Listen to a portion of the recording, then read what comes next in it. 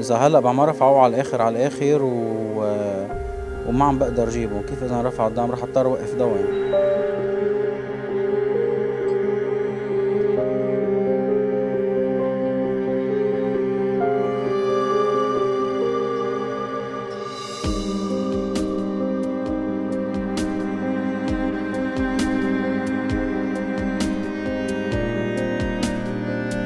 المريض اللبناني اللي هو بشكل 70 80% من الشعب اللبناني الفقير. ما عنده إلا خيار هي الصيدلية أو مكان الديسبنسري أو يحصل على دواء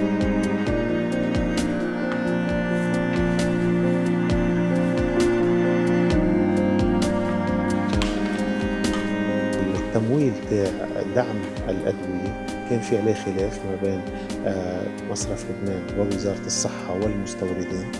وما كان عم يتحول أي أموال للمستوردين خارج لبنان.